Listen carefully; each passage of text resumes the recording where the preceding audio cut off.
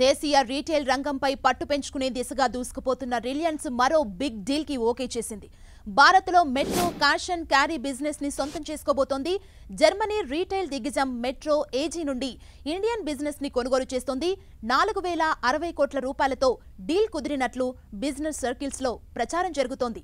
దీని ప్రకారం దేశంలోని ముప్పై ఒక్క హోల్సేల్ డిస్ట్రిబ్యూషన్ సెంటర్స్తో పాటు ల్యాండ్ బ్యాంక్ ఇతర ఆస్తులన్నీ ఇకపై రిలయన్స్ చేతిలోకి వెళ్ళిపోతాయి దేశంలో టాప్ రీటైలర్గా ఎదుగుతున్న రిలయన్స్కి ఈ కొనుగోలుతో బిజినెస్ టు బిజినెస్ సెగ్మెంట్పై పట్టుచిక్కనుంది పట్టు చిక్కనుంది. ముఖేష్ అంబానీ నేతృత్వంలోని రిలయన్స్కి మెట్రో ఏజీకి మధ్య కొంతకాలంగా చర్చలు నడుస్తున్నాయి. గత వారమే దీనికి సంబంధించి తుది ఒప్పందం కుదిరినట్లు తెలుస్తోంది.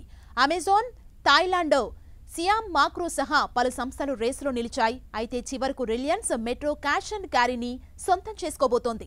ముప్పై నాలుగు దేశాల్లో వ్యాపారం నిర్వహిస్తున్న మెట్రో రెండు వంద రెండు వేల మూడులో భారత్లో ఎంటర్ అయింది.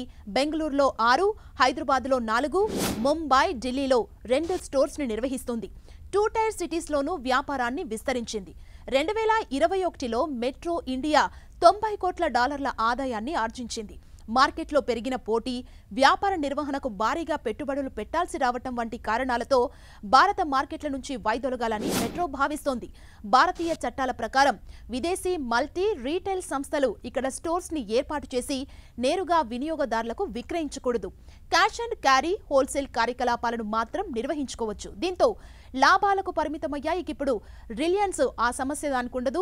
స్ట్రాంగ్ హోల్సేల్ యూనిట్స్ ఉంటే రీటైల్ రంగంలో తమ పట్టు మరింత పెరుగుతుందని రిలయన్స్ అంచనా వేస్తోంది. రిలయన్స్ రీటైల్ వెంచర్స్ లిమిటెడ్ కింద ఈ కొనుగోలు జరగనుంది.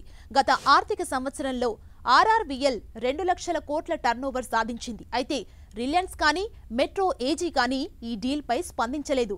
జపాన్ రష్యా కార్యకలాపాల నుంచి ఇటీవలే మెట్రో వైదొలిగింది